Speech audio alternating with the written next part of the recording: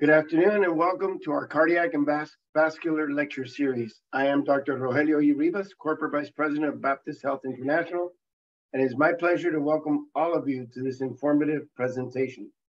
I would like to extend warm greetings to our friends across Latin America, the Caribbean, and everyone joining us today.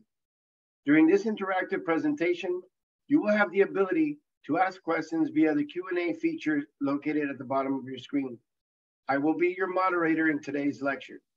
This afternoon, I have the pleasure of introducing Dr. Sergiu Darabant, who will be presenting a lecture titled Advancements in Preventive Cardiovascular Medicine. Dr. Darabant is a medical cardiologist at Baptist Health Miami Cardiac and Vascular Institute. He is board certified in internal medicine and nuclear cardiology. Dr. Darabant specializes in the prevention, diagnosis, and treatment of coronary artery disease, valvular heart disease, arrhythmias, and cardiomyopathies. He is, also has extensive experience in cardiovascular imaging, intensive care cardiology, and advanced heart failure therapies. Dr. Darabant received his medical degree from the Iuliu Hațieganu University of Medicine and Pharmacy in Romania. He completed his residency in internal medicine at the University of New Mexico Health Science Center in Albuquerque, and followed by cardiovascular disease fellowship at the University of Louisville Department of Cardiovascular Medicine in Kentucky, where he served as chief fellow and was under the mentorship of Dr. Marcus Stoddard, the president of the National Board of Echocardiography. During his fellowship, he developed a special interest and training in transthoracic and transesophageal echocardiography imaging. These techniques are used in evaluating cardiovascular disease and stroke patients.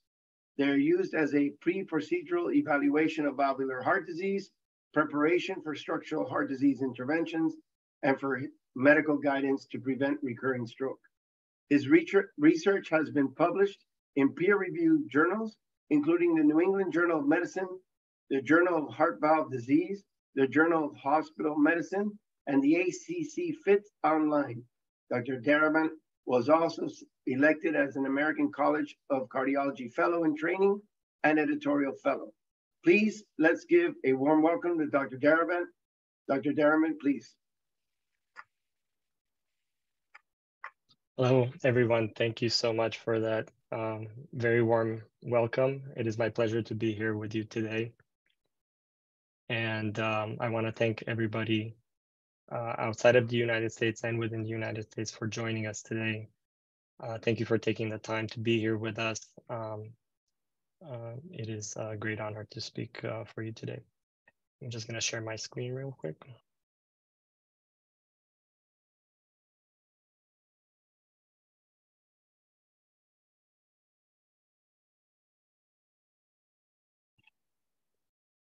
It will be my pleasure to speak to you today about what our practice is doing um, to advance cardiovascular disease prevention. As we do believe that cardiovascular disease prevention is um, the first line uh, intervention that we need to focus on moving forward in um, our patients' care As mentioned before, I'm a clinical cardiologist for Miami Cardiac and Vascular Institute in Miami, uh, a, a substitute of Baptist Health South Florida. Our group is a very large group comprised of 28 clinical cardiologists, six interventional cardiologists, two electrophysiologists, advanced heart failure specialists, two sleep medicine uh, physicians, and numerous um, allied health providers such as APPs and physician's assistants. We have such a large group dedicated to provide excellent medical care to our patients in an integrated uh, approach. Although we spread across numerous um, known subspecialty like clinical cardiology, electrophysiology, interventional cardiology, and structural heart, we have developed more recently other clinical programs that focus um, primarily on patients with comorbid conditions and the treatment of these patients in an integrated type of um, approach. We have an advanced heart failure program, cardiometabolic program that was recently developed, hypertension programs, lipid management programs, all dedicated to serve our patients both in the outpatient setting and inpatient setting to provide the most excellent cardiovascular care. We focus greatly on the need for a prevention and risk reduction center and um, I'd like to speak to you a little bit about what our team is doing towards that goal. Heart disease is still America's number one killer and leads to significant deaths worldwide, more than cancer and motor vehicle accidents combined. What is heart disease though? As we focus on heart disease, we don't simply refer to coronary artery disease, but focus as well as uh, the pathology of valvular heart disease, cardiomyopathies, which include dilated and uh, hypertrophic cardiomyopathy, pericardial disease, and cardiac arrhythmias. All of heart disease develops uh, early on before even um, before we even see any signs and symptoms from our patients, and we want to try to prevent heart disease in the very uh, beginning of um, life. Unfortunately, US deaths attributed to cardiovascular disease are on the rise. In recent years, we see a significant rise in cardiovascular disease, and that's mostly because of um, the occurrence of other comorbid conditions leading to this issue. This will have a major impact on our healthcare costs and on our patients. We're seeing a close to 200% increase by 2030 in um, chronic comorbid conditions. More than um, more than 83 million will uh, adults in 2030 will have three or more chronic conditions, and this is important because most of our 30-day readmissions in hospitals are patients um, comprised of patients uh, that have two or more chronic comorbid conditions. By 2060, compared to 2025, chronic disease will continue to increase. Diabetes, hypertension, dyslipidemia, and obesity continue to increase uh, as the models predict. And this is very worrisome because these are major risk factors for cardiovascular disease. Important will be identifying our patients at risk. We know the classic risk factors, which include smoking, diabetes, hypertension, and hyperlipidemia pathologically, all these risk factors um, really work at the endothelial level, changing uh, our endothelium and um, promoting accelerated atherosclerosis. Smoking leads to coronary vasoconstriction, a hypercoagulable state. And studies have shown that even one cigarette per day can be just as detrimental for cardiovascular disease as um, uh, smoking more than one cigarette. Diabetes as well leads to endothelial dysfunction and vascular smooth muscle dysfunction and accelerated atherosclerosis. The same goes for hypertension and hyperlipidemia.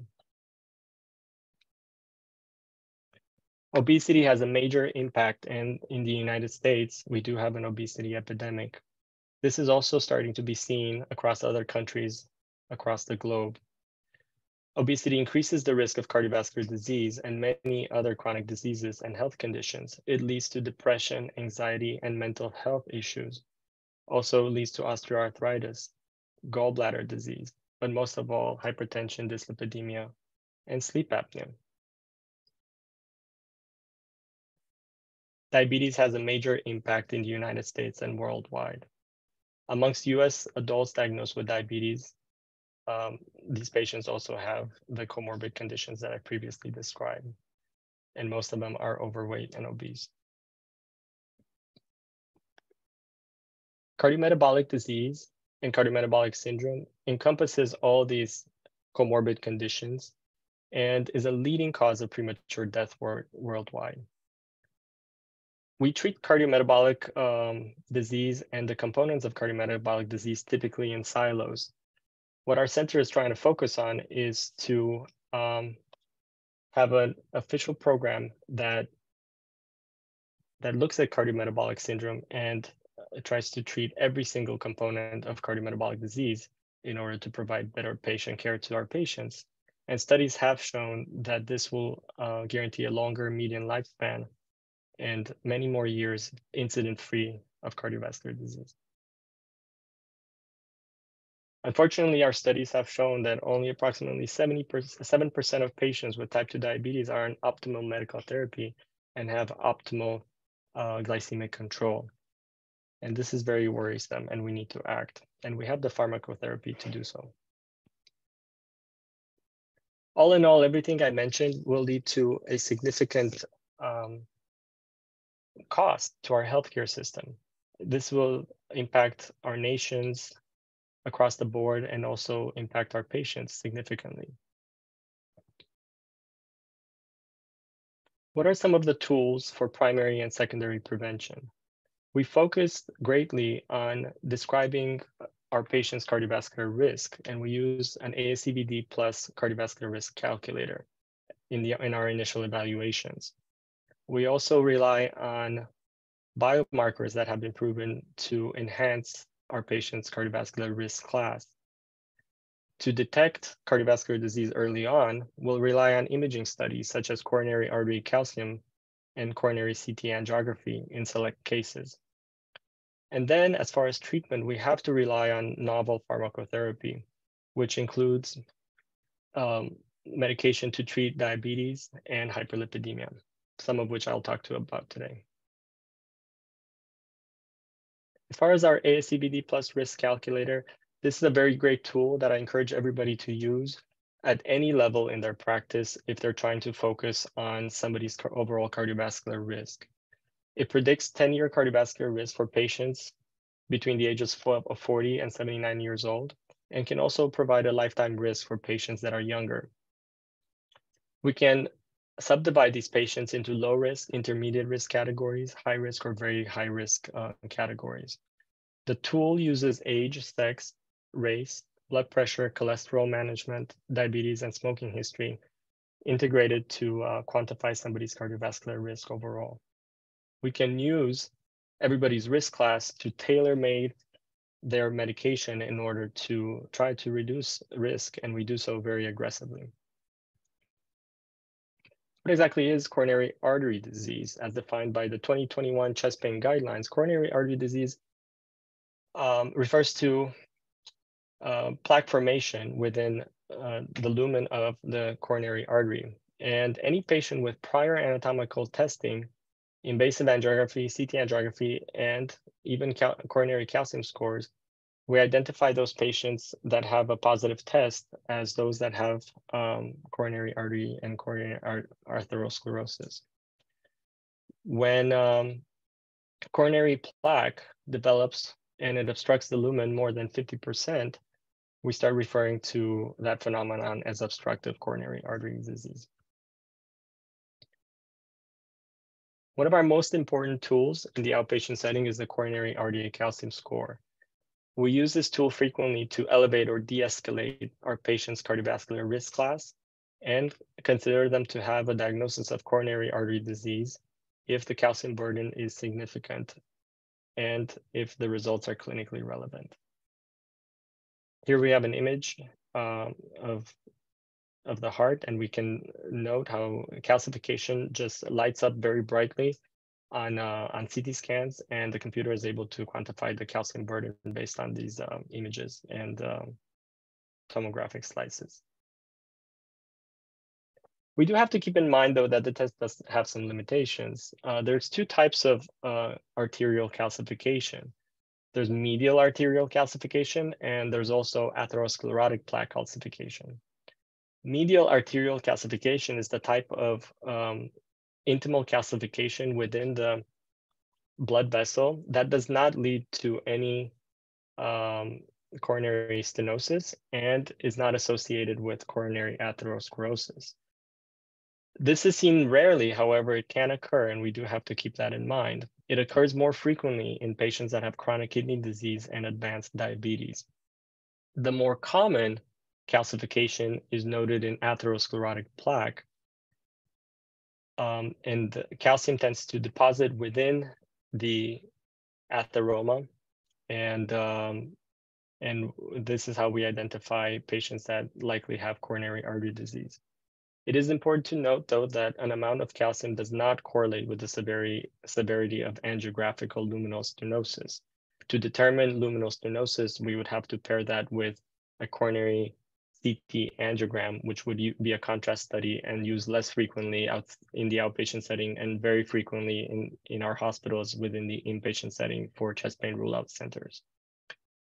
Also important to note is that there is coronary atherosclerosis and plaque formation that does not have calcification. That type of plaque can sometimes is sometimes more dangerous and at higher risk of rupture to cause a heart attack. So the absent the absolute absence of coronary calcification does not always necessarily mean that the patient does not have plaque buildup. However, it in in certain models, it has shown very good um, overall preventive prediction. So how do we how do we score the calcium score? A calcium score of zero uh, presumes no identifiable disease. Mild disease is a calcium score uh, less than 100. 100 to 400 um, stipulates moderate disease and greater than 400 severe disease.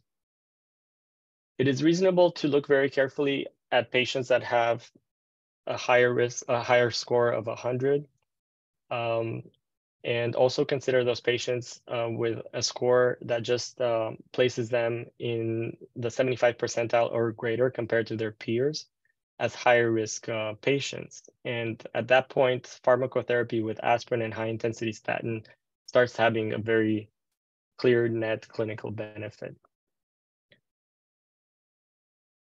studies have shown that coronary calcium scores of zero are predict excellent survival within 10 years, and uh, those patients have very low event rates as compared to other um, patients that have calcium present on calcium score. Some other biomarkers that we use uh, in quantifying our patients' uh, cardiovascular risk are lipoprotein A. Lipoprotein A and elevated serum lipoprotein A is a risk factor for atherosclerotic cardiovascular disease, peripheral arterial disease, and aortic stenosis. It is a type of uh, low density lipoprotein, and the values that we look for are values greater than 50 milligrams per deciliter. Those um, typically predict a higher uh, risk and risk of development of CAD. High sensitivity CRP can also be cons considered. However, it is a less specific inflammatory marker. Since it is an inflammatory marker, it can vary in time. Therefore, we have to um, take this information as just another data point um, for defining somebody's cardiovascular risk. Since it varies over time, it is important to consider obtaining two values uh, from the same patient at different times uh, to compare um, and to check if consistently across the board, the levels are in the low, average, or high risk values, which I've displayed here on the screen. Moving on to special pharmacotherapy, uh, especially in the case of patients with diabetes and coronary atherosclerosis, we um, we we turn to SGLT2 inhibitors and GLP-1 agonist um, uh, medication as adjunctive therapy to reduce cardiovascular risk and improve diabetes control. We work together with the primary care providers in optimizing somebody's uh, pharmacotherapy and diabetes control. Uh, with their permission, we add on GLP-1 agonists uh, and SGLT2 inhibitors um, to reduce their cardiovascular risk. And more often than not, these our patients um, are not taking these medications, and studies have shown significant um, reduction in cardiovascular risk. GLP-1 agonists um, significantly help patients uh, lose weight as well as they um, slow down gastric emptying and provide a very significant um, sensation of fullness where patients are just eating a lot less I tend to use this class uh, a lot in my practice, and I've seen excellent results from my patients. The medication is easy to use as it, as it is an injection taken once weekly. And uh, I will um, uptitrate uh, GLP-1 agonists approximately once every month uh, to maximum tolerated dose for my patients. I've seen very, very good results in weight loss and glycemic control. SGLT2 inhibitor class also an excellent class of medication which we use to decrease atherosclerotic morbidity, uh, mortality in our patients with diabetes. Icosapent ethyl, also known as Vascepa, is an excellent medication that uh, we use as adjunctive therapy in patients that continue to have elevated triglycerides, evidence of coronary atherosclerosis, and diabetes. Reduce It USA is a trial that uh, looks specifically at uh, US patients and looking at 3,146 um, statin treated patients with qualifying triglyceride levels that were elevated and LDL levels that were uh, fairly controlled it did show a significant um, um, result in reducing the primary composite endpoint, which were cardiovascular death, non-fatal myocardial infarction, stroke, coronary uh, revascularization, and hospitalization for angina.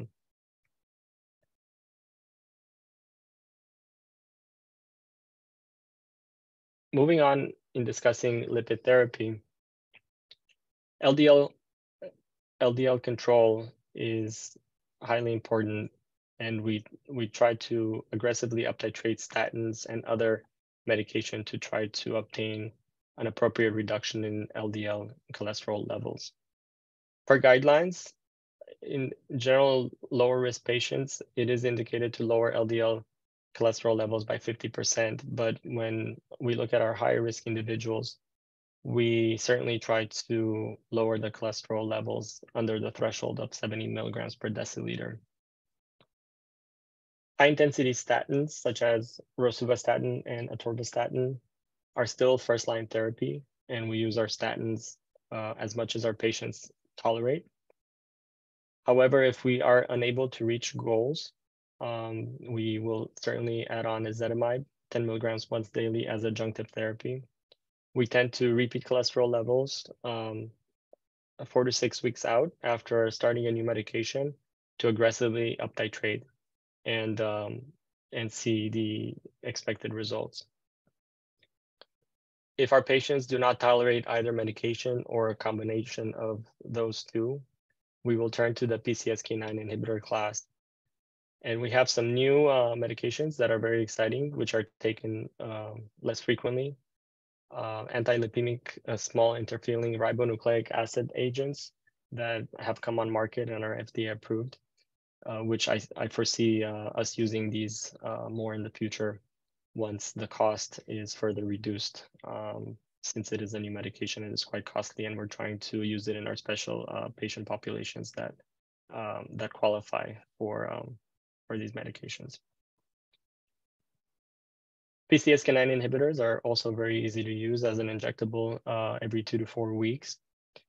And um, our uh, inclisiran, Leqvio new medication, is actually uh, used as a single injection once, again at three months, and then uh, it is only used every six months thereafter. So what's exciting about this um, medicine is the fact that it will greatly reduce uh, pill burden and hopefully side effects that patients um, can have with statin therapy and other uh, pills that they take.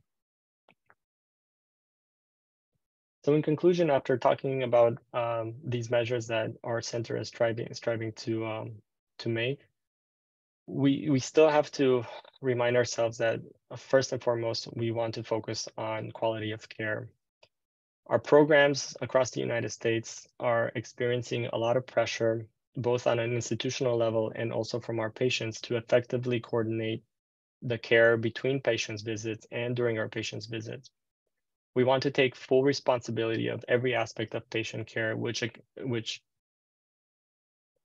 which refers to even how the patients obtain their medication, uh, how they obtain their medication through insurance, and trying to provide all the documentation necessary to get them uh, the newest uh, pharmacotherapy available uh, in the market. Uh, we want to manage urgent patients' needs, and um, that is difficult when in such a large practice with such a large patient population. So we'll we'll try to do that uh, within a timely fashion. And of course, we'd like to prevent hospital readmissions, uh, which is most important for our patients and the institutions that take care of our patients. We have a very special opportunity and our team is really trying to take advantage of this opportunity to be a leader providing team-based care, great patient services, and to coordinate cardiovascular um, uh, health reduction in South Florida. Uh, we want to improve detection, expand simple access. Uh, we're trying to rely heavily on virtual tools and technology for monitoring, such as remote patient monitoring for blood pressure, weight, and glucose monitoring. We want to reduce medical expenses and also uh, help our patients live a healthy, full life. To do so, we absolutely rely on our team-based approach. We not only use our physicians, but we heavily rely on our APPs, pharmacists, dietitians, nurse navigators in the plan development of our patients. We collaborate um, entirely throughout our practice with all our cardiology subspecialties, as we've seen so much that cardiovascular disease encompasses many uh, issues of the heart, uh, not just one and uh, we work together with our heart failure specialist, electrophysiologist, and our sleep medicine specialist to uh, provide integrated care for our patients. We strive to do this under one convenient location, hoping to be the number one cardiovascular destination in South Florida and for patients across Latin America. We hope to continue to become an expert cardiovascular team uh, and provide all the necessary um, facilities that our patients need for excellent care. Thank you so much for your time, and I welcome any questions.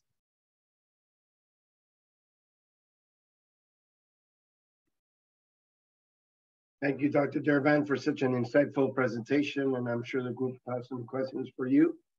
Uh, remember that for today's Q&A session, you may ask a question using the Q&A feature located at the bottom center of your screen to the right of the chat feature. Please type your questions there and click submit.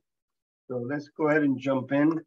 Before we do, Doctor, I, you know, I thank you for for an amazing presentation. So much, so much to look at. It was interesting the comparison, right, from 2025 to 2060. How even though we have all this technology, we have all these medications, we still think things are going to possibly get a little harder, right, when it comes to uh, cardiovascular care? Yes, the prediction models are very impressive. Um, and um, and that's why we're trying we're urging our patients to have immediate access to healthcare um, because we learn more and more from every encounter that we have that um, our patients need a lot of guidance. They need a lot of guidance in um, in nutrition, a lot of guidance in uh, to provide them information on what causes these diseases so that they can take ownership of their own um, health uh, and and they're not afraid to ask for that guidance and uh, we welcome any questions but with uh, limited time and so many patients to take care of that is why we need such a large team that can dedicate their time to answer all these questions um, so many times I've been asked by patients, well, what should I eat? I just don't understand what's healthy, what's not healthy. And um, I love to have these conversations with them, but um, when I'm limited for time, I love referring them to our nutritionist, which uh, is part of our cardiometabolic program and risk prevention clinic, to have longer conversations. And um, and this is very helpful to them. Do you, I, I mean, I see, I saw the the total you know, just like in cancer, you have the total team picture. You, you're doing the same thing with cardiac. Do you see psychology uh, also as a component in the future to assist patients with that? Some folks that have that difficulty with nutrition and and trying to resolve certain problems that have caused these uh, diabetic situations? Certainly, many of our patients have anxiety issues, depression, uh, we saw that obesity is uh, actually a risk factor for uh, mental health, um, let's call it decline for lack of a better word. and um, that is an interesting concept that maybe we should consider um, the psychological aspect and how we can um, we can uh, integrate that within uh, such a center that uh, tries to be um, uh, fully encompassing. So uh, why not? I think that that may be a good idea, and um, and if it helps, um, uh, we'd have to see what the studies show. So a lot of folks that are online today are might be GPs, right? General practitioners. And um, obviously one step before getting to you, and then the step after you to maintain whatever to help you, right? And so I guess the question is CT angiogram and calcium scoring, right? When to do one or the other. And it depends on obviously what you have access to. But over here, we really do it by, by symptom management, right? If the patient's having active symptoms, is that is that when you go towards one versus the other? Yes, it uh, the CT coronary angiogram becomes a specialized test more frequently used in the inpatient setting, our chest pain centers, and for patients with symptoms. Although not classic necessarily classical symptoms for cardiovascular uh, or like uh, classical symptoms of angina, but uh, patients that have symptoms that could be consistent with angina. So those intermediate risk patients that we're certainly not sure that they have a high probability of cardiovascular disease. Otherwise, we would just turn to a, a more invasive study like a cardiac cath. So in those patients, we use uh, coronary CT angiograms more frequently. Inpatient more than outpatient, although I've certainly used it a few times inpatient. Uh, excuse me, outpatient as well. Uh, coronary calcium scores, I think, um, is a test that should be more frequently used. And um, I actually am very uh, thankful and excited when I have a patient uh, coming in from a general practitioner that already has that test available for me to review. Um, as it is a tool that I use frequently in my prevention program. Um, in the cases that I mentioned, um, I I think that it gives me a quick um, a quick assessment tool to start my work and um, to not delay care. So uh, it can be done very, very easily. Uh, we use uh, we use a very simple payment model for it. Uh, it's an inexpensive test, uh, and we even have um, some promotions for it during Heart Month, and we encourage our patients to get it if there's an indication for it. What other things as a GP that you would expect us to maybe labs to order prior to the patient getting to you?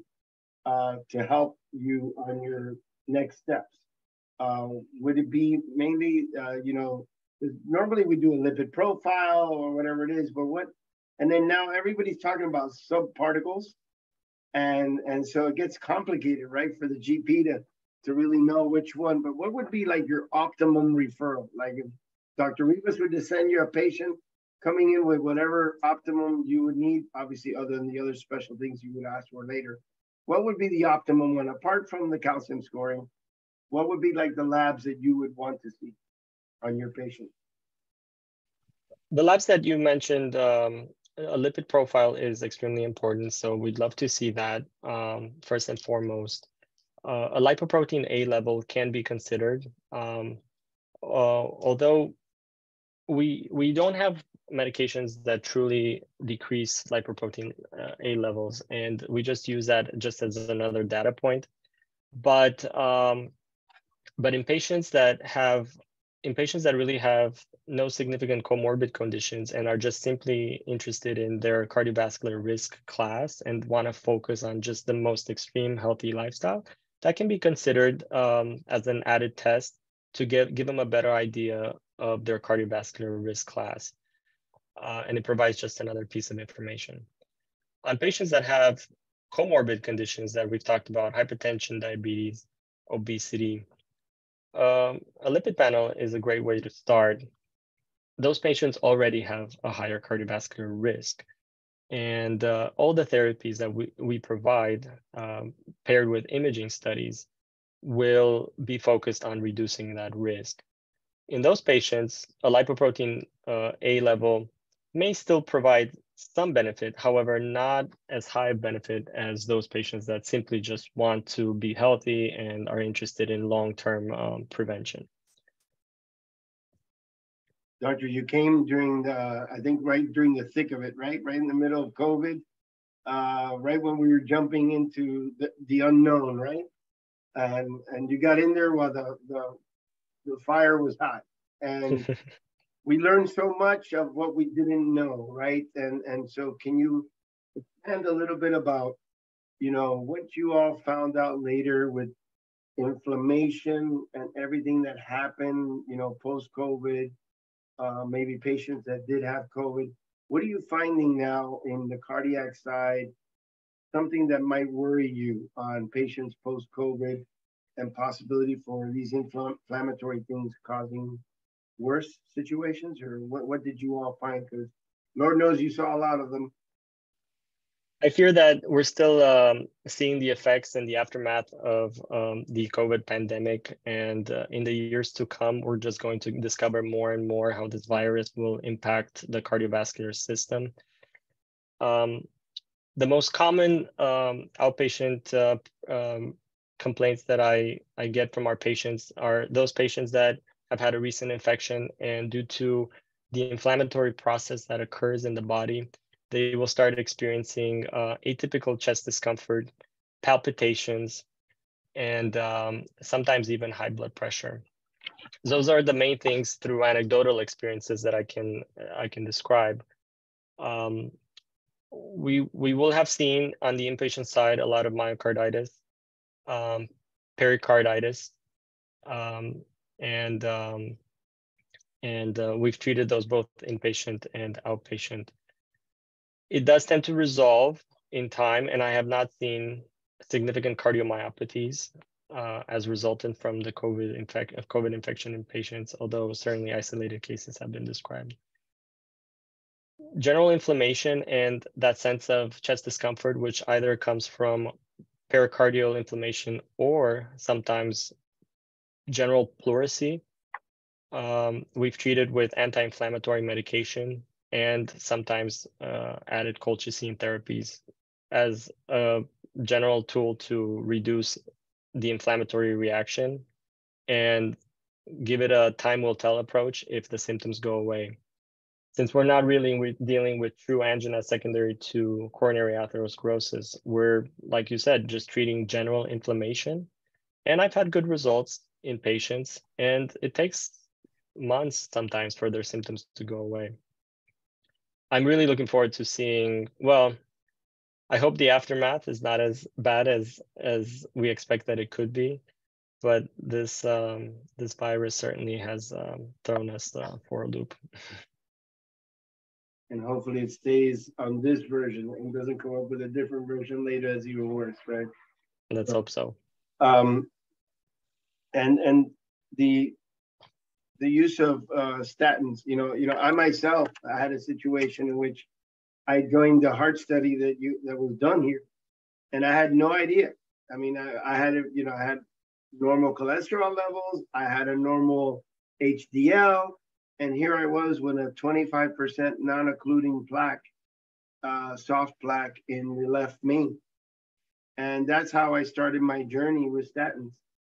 And it was amazing how just doing that little change, obviously, you know, I still misbehave, my diets I still have to fix, but it went down when I did a follow-up CT angio, uh, it went down to zero.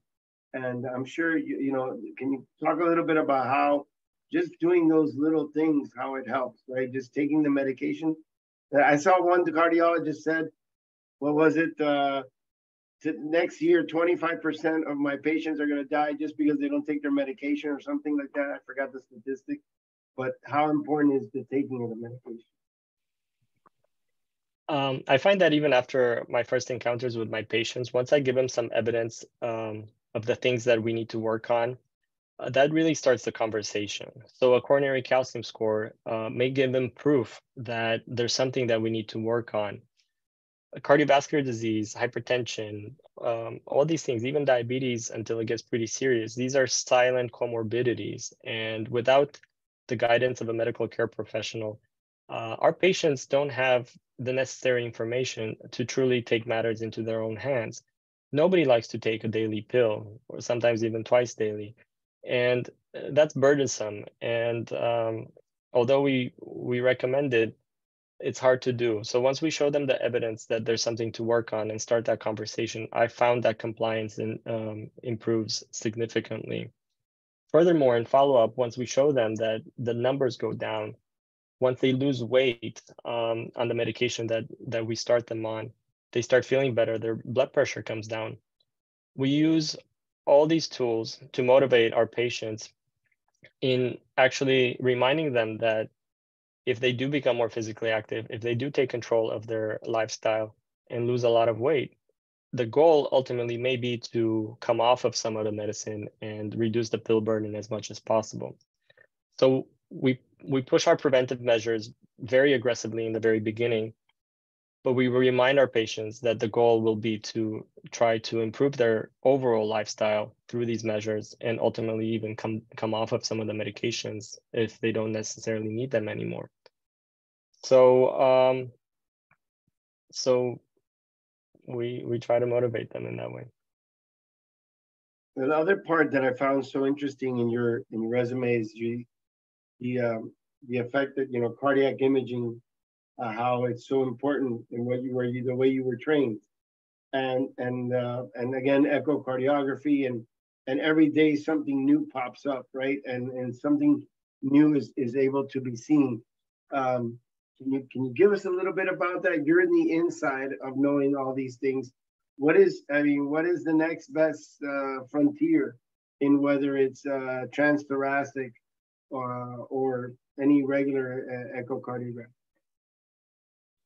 It will be very exciting to see how the technology and imaging develops. Um, in our practice and at Baptist, we heavily rely on cardiac MRI for various diagnoses. Um, we've used it a lot. Uh, I'm coming back to your question about COVID. We've used it a lot to identify inflammation in myocardial in the myocardium.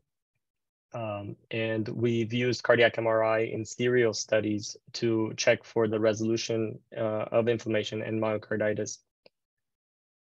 Echocardiography is still um, a very basic tool that we use um, and we will continue using it for a very long time. Um, I think so, I, our protocols will change, and the, as the volumes improve, we're going to have software that uh, identifies uh, that starts becoming more and more automated.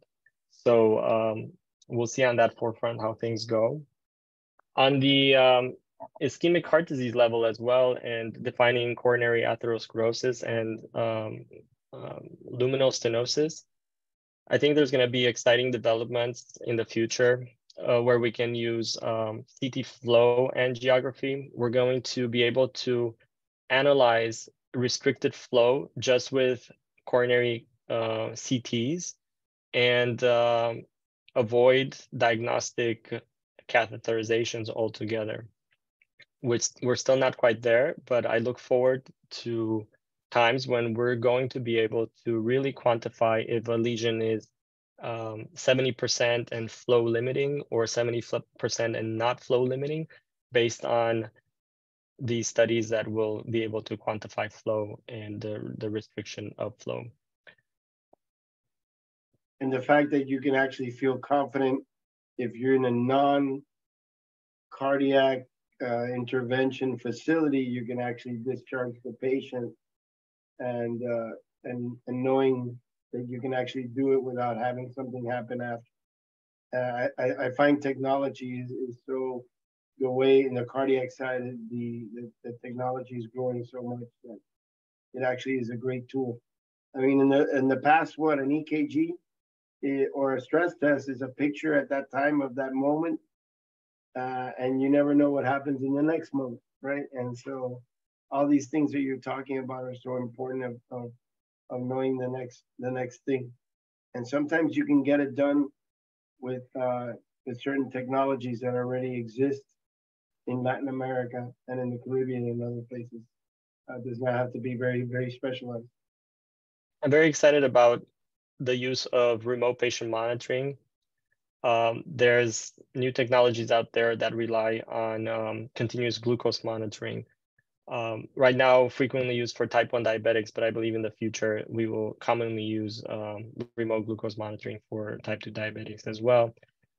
Uh, blood pressure monitoring in the outpatient setting, which remotely downloads data to our centers, um, weight scales, um, all these things um, will require large prevention centers to to analyze all the data and keep uh, an, an open level of communication with our patients because it's one thing to acquire all, all, all this data, but somebody needs to look at it and actually intervene appropriately and in due time and um, uh, that's going to be um, very interesting in the near future of uh, how we do that. Well, Doctor, uh, on behalf of Baptist Health International, I would like to thank you for your very informative presentation. And I would like to thank all of today's participants for your attendance.